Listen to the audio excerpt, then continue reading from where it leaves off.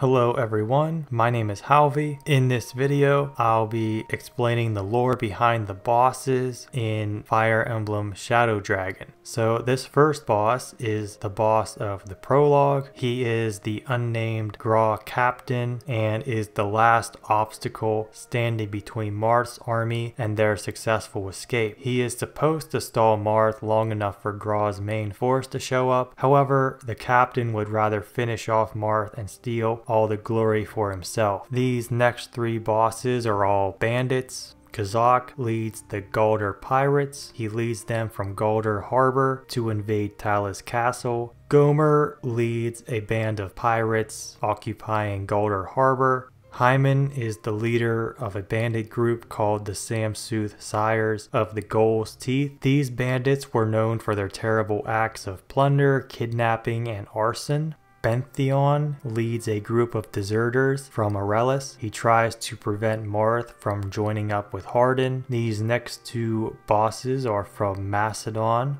Merach is a knight ordered to guard Aurelis Castle by Minerva and to prevent Marth from meeting the king of Aurelis. Emereus is a general leading the invasion of Aurelis. When Marth enters the castle, Emereus orders his soldiers to prevent Marth from reaching the throne room and orders thieves to steal the treasures as he makes preparations to withdraw. Bathys is a leader of a pirate group attacking and pillaging a village in western Aurelis. They also kidnap some children. These next two bosses are from Grust. Harmein is a general guarding the Lefkandith Valley. He disagrees with Minerva on how to go about fighting the Archanean League. He reminds Minerva that her sister Maria is being held hostage, forcing her to obey. Kannival is a knight who leads an assault on the town of Port Warren as Marth and the Archanean League are resting there. Mannu is a Manakete of the Fire Clan and the king of Pyrathi. The kingdom of Pyrathi seldom made contact with the outside world, so he is furious when he hears of Marth's unexpected visit. Zharov is a Grustian general in charge of keeping Maria hostage in Castle Deal. He uses her to blackmail Minerva into allying Macedon with Grust. These next three bosses are all from Dolhr. Khozen is a Manakete of the Fire Clan who leads a group of Grustian soldiers into Norda Market to prevent Marth from reaching the Archanean capital. Volzhin is a bishop who occupies the palace of Archanea. He holds five of Princess Nina's retainers prisoner. Dejanira is a paladin leading a group of soldiers attacking western Archanea. He blackmails Horus into betraying Archanea and siding with Dolhr. Grigas is a Grustian ballistician who leads an artillery regiment known as the Wooden Cavalry at Fort Menedy. Jiol is the king of Gra, and in the very beginning of the war, he was persuaded by Gharnef to betray Altea. He launched an attack and caught Altea's army off guard, leading to the death of Marth's father, King Cornelius. He continued his attack on Altea Castle in the pursuit of Marth. When Marth was backed into a corner of a locked fort with no way out, Malledus suggests to send out a decoy to sacrifice themselves to lead Jiol away. The plan works and Marth is able to escape. Years Years later, Marth invades Gra and Jiol starts to panic, knowing that his end is near. Hollstadt is a Grustian general who guards Altea's castle gates. He is a former subordinate of Camus and is tasked with preventing Marth and the Archanean League from approaching Altea Castle. Morzas is a Dolhrian Manakete of the Mage clan, occupying the throne in Altea Castle, a position given to him by Medeus. He is the killer of Marth's mother Liza, and would have also killed Marth's sister Ellis, if not for Gharnef having a use for her. These next two bosses are both from Grust, Dactyl is a general leading some forces in Helena Castle in Altea's north. Marth was seeking to take their gold and provisions. Dactyl uses an important ring to blackmail Etzel into fighting against Marth. Sternlin is a paladin from Grust and a member of the Sable Order. He leads the Sable Order in a battle against the Archanean League at the Chasmere Bridge, trying to prevent Marth from entering the Fane of Ramen.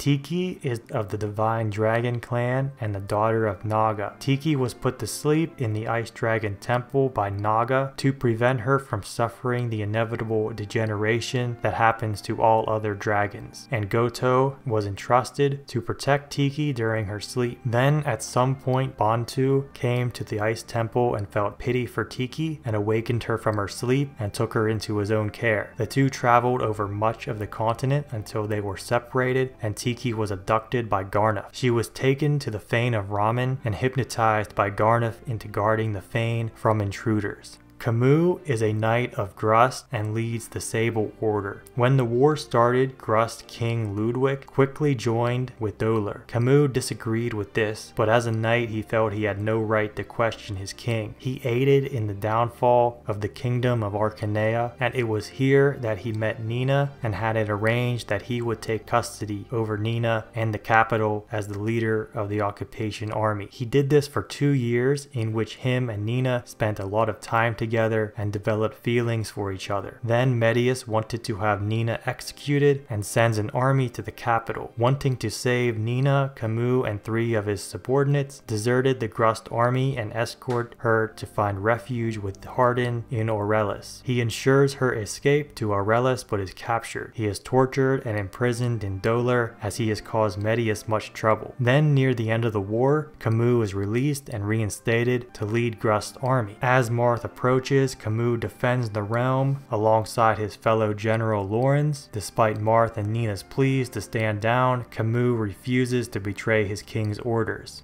Larissa leads a band of remnant Grustian and Dolhrian soldiers in the eastern mountains of Grust. He takes the residents of a nearby village hostage, hoping it would keep Marth from attacking. Orridyon is a Macedonian paladin and leader of a dragoon squadron. He tries to prevent Marth and the Archanean League from reaching King Michalis. Michalis is the king of Macedon and the elder brother of Minerva and Maria. He had a huge lust for power, and prior to the war, he was convinced by Gharnef to kill his own father, Osmond, to become king. Then, against Minerva's adamant opposition, he allied with the Dolhr Empire. He handed over Maria to Dolhr as a hostage to ensure Minerva doesn't betray him. This fails, however, as Marth is able to rescue Maria, and Minerva quickly allies with Marth. Even Goto warns Michalis that his actions are destroying both his family and his country. Michalis refuses to back down and faces Marth in battle. Gharnef is a powerful sorcerer, the ruler of Khadein, and is known as the Dark Pontifex. He was once a student of Goto alongside Miloah. They both studied under Goto in the city of Khadein and were incredibly talented. Gharnef originally was a man of justice and good intentions. However, he lacked compassion and love. Goto noticed this and decided to appoint Miloah as the new Pontifex of Khadein. Upon hearing this, Gharnef was consumed by jealousy and as an act of vengeance, he stole the Dark Sphere and ran away. Using the Dark Sphere, he forged the Imhulu Tome, but during this process, his soul was sealed within the Dark Sphere itself, trapped for all eternity. From then on, all he wanted was to rule the world, unleashing despair and vengeance upon humanity and bring the world to ruin. He first revived Medeus and forged an alliance with him. Then, with their combined might, they brought ruin to countless kingdoms, starting with the Holy Kingdom of Archanea. Gharnef then murdered Miloah and seized control of Khadein. He also hypnotized Tiki and had her defend the Light Sphere and the Star Sphere inside the Fane of Ramen to prevent Starlight from being forged, as Starlight is the only attack that can pierce Imhulu's defenses. Gharnef likes to work in the shadows, manipulating people and bending them to his will. Jiol was convinced by Gharnef to betray Altea and ally with Dolhr, he abducted the twin prince and princess Yubello and Yulia of Grust and imprisoned them in a pitch black room in Khadein, using them to blackmail King Ludwig into allying Grust with Dolhr. Following Altea's defeat at the hands of Gra, Gharnef took Falchion to keep it from being used against Medeus, and he abducted Elis and took her to Thebes, where he was planning to use her to use the Aum Staff. After Marth had defeated both Grust and Macedon, his army is warped to Thebes by Goto to defeat Gharnef, retrieve Falchion, and rescue Ellis. Xemcel is a Dolhrian Manakete of the Mage clan. He leads a band of humans and Manaketes alike and is tasked with keeping Marth out of Dolhr Keep and away from Medeus at all costs. He has an intense hatred of humans. Medeus is the Earth Dragon King and the first and only ruler of the Dolhr Empire, known and feared across Archanea as the Shadow Dragon. Centuries ago, when the Dragon Kin were experiencing their degeneration, Medeus was the only Earth Dragon willing to seal his power into a Dragon Stone and become a Manakete, thus escaping degeneration. The other Earth Dragons refused the idea and eventually devolved into wild beasts which pose as a threat to the human race. The wild earth dragons and the divine dragons fought in a great war, resulting in the earth dragons being sealed beneath the dragon's table. Medeus was entrusted by Naga to guard the altar and its seal. Centuries later, humans became the dominant species of Archanea, and as they rose to power, they frequently abused and mistreated the remaining Manaketes. Medeus was forced to watch these atrocities from his post at the dragon's table. Filled with rage rage and fury, he united the Manaketes into the new nation of the Dolhr Empire and declared war on Archanea. He ordered an assault on the Archanean capital and killed all members of the royal family, except Princess Artemis, who was able to evade captivity, though soon the entire world fell under Medeus' control. Then a man named Anri appeared, wielding falchion. Anri killed Medeus and brought peace back to the world. Then nearly a century later, Medeus was revived by Gharnef his revival was incomplete, however, as he could only maintain his Earth Dragon form and powers inside the walls of Dolhr Keep. He resumed his world conquest, this time with some human nations as allies, and just like in the previous war, he ordered an assault on the Archanean capital and the extermination of the royal family. However, once again, one member, Princess Nina, was able to escape Medeus's clutches. Marth fights Medeus in the final battle with Dolhr Keep. Medeus truly believed that the war wars he started were just and that the humans deserved the painful deaths he gave them. So with all that said, this is the end of the video. If you enjoyed it, like, comment, subscribe, and have a great rest of your day.